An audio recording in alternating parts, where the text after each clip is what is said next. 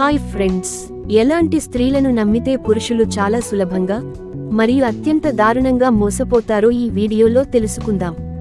పురుషుల బలహీనత స్త్రీల అందాన్ని మరింత మెరుగులు దిద్దేలా చేస్తుంది. మగాడికి మొహం ఎంత పెరుగుతుందో అంతే సులభంగా ఆడదాని చేతిలో మోసపోతాడు. స్త్రీకి గల అత్యంత శక్తవంతమైన ఆయుధం ఆమె కన్నీరు. నిన్ను లొంగదీసుకోవడానికి తన పంతం నెరవేర్చుకోవడానికి ఏడుపు నటించే ఆడదాన్ని అస్సలు నమ్మొద్దు. అలాంటి స్త్రీకి లొంగితే నీ తల్లిదండ్రులకు కూడా నువ్వు దూరం అవుతావు అందుకే ఏడ్చినప్పుడు స్త్రీని నమ్మొద్దు అంటాడు చాణక్యుడు. వ్యక్తిత్వాన్ని కోల్పోయి సమాజానికి కూడా భయపడకుండా ఎవరేమనుకుంటే నాకేంటి? అనుకునే స్త్రీలతో జాగ్రత్త. అలాంటి స్త్రీలు పురుషులను మోసం చేయుటకు ఏమాత్రం వెనకాడరు. వీరితో సంబంధం పురుషులను సులభంగా మోసపోయేలా చేస్తుంది.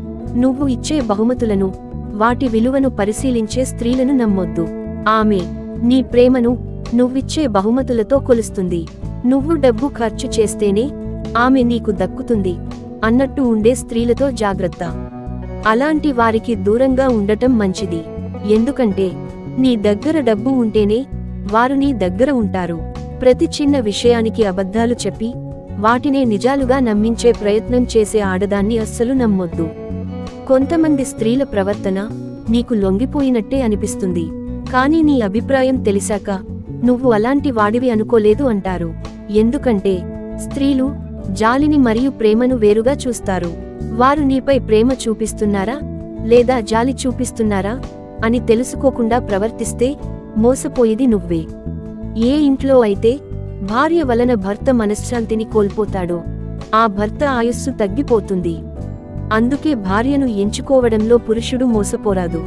భార్య భర్తను అర్థం చేసుకున్నా అర్థం చేసుకోకపోయినా భర్త మాత్రం ఖచ్చితంగా భార్యను అర్థం చేసుకోవాల్సిందే. లేదంటే భార్య మనసు మోసపూరితమైన చెడు తలంపులకు దారితీసే అవకాశం ఉందని చాణక్యుడి అభిప్రాయం.